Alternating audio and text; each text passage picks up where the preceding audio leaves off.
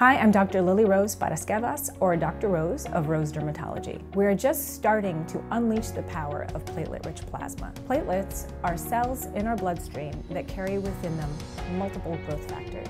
We take advantage of these growth factors to solve certain problems within our skin. We've been using platelet-rich plasma injections for several years now to treat hair loss in men and women.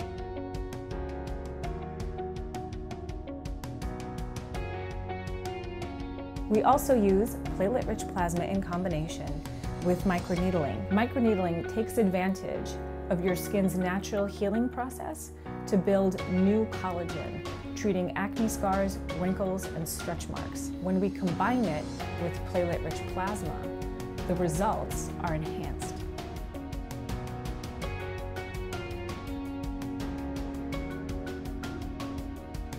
The really amazing thing about this is that platelet-rich plasma is from your own blood. So we take it out of your body, we spin it down, we take the most useful part of it, and we put it where you really need it.